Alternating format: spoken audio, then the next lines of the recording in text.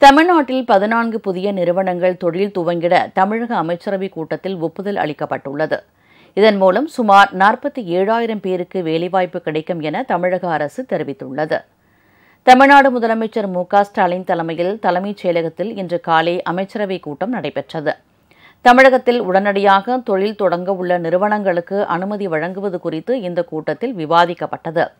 கூட்டத்திற்கு பிறகு நிதி அமைச்சர் தங்கம் தென்னரசு தொழில்துறை அமைச்சர் டி ஆர் பி ராஜா ஆகியோர் கூட்டாக செய்தியாளர்களை சந்தித்தனர். அப்போது தமிழகத்தில் முப்பத்தி எட்டாயிரத்து அறுநூறு கோடி ரூபாய் மதிப்பிலான முதலீடுகளை ஈர்க்கும் வகையில் பதினான்கு நிறுவனங்கள் தொழில் தொடங்க இன்றைய அமைச்சரவைக் கூட்டத்தில் ஒப்புதல் வழங்கப்பட்டதாக தங்கம் தென்னரசு தெரிவித்தார். இதன் மூலம் நாற்பத்தி ஏழாயிரம் பேருக்கு வேலைவாய்ப்பு கிடைக்கும் என்றும் அவர் கூறினார். பதினான்கு புதிய முதலீட்டு திட்டங்களுக்கு முப்பத்தி எட்டாயிரத்தி அறுநூற்றி தொண்ணூத்தெட்டு புள்ளி எட்டு சுழி கோடி ரூபாய் முதலீட்டிற்கான ஒப்புதல்கள் வழங்கப்பட்டிருக்கிறது.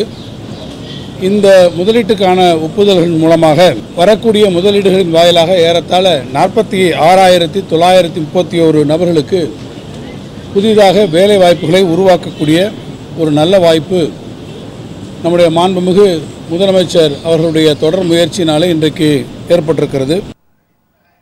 உங்கள் ராஜ் நியூஸ் தொலைக்காட்சியில் திங்கள் முதல் வெள்ளி வரை தினம்தோறும் பிற்பகல் இரண்டு மணிக்கு உங்கள் பகுதியில் உள்ள குறைகளை நேரலையில் தெரிவிக்கும் புகார் பெட்டி நிகழ்ச்சி.